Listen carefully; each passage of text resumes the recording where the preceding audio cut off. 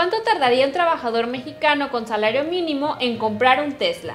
No cabe duda que el futuro de la industria automotriz son los vehículos eléctricos. No por nada Elon Musk ya anunció que abrirá su gigafábrica de Tesla en Nuevo León, aunque es una realidad que no a todos les alcanza para adquirir vehículos que no utilizan gasolina. Tomando como referencia el Tesla más barato del mercado, el Model 3, que su valor asciende a 1.173.776 pesos y que el salario mínimo en México es de 207.44 pesos por día y al mes son 6.233 pesos. Una persona que gana el salario mínimo en el país en un financiamiento económico pagando inicialmente 412.600 pesos y pagos a 60 meses de 13.000 pesos.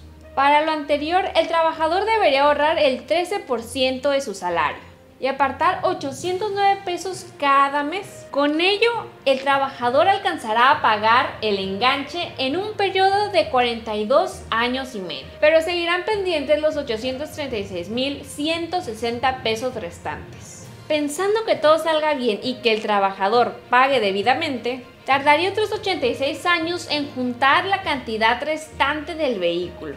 Es decir, un total de 128 años y medio para poder comprar el Tesla Model 3. ¿A ti qué te parece? Cuéntanos en los comentarios.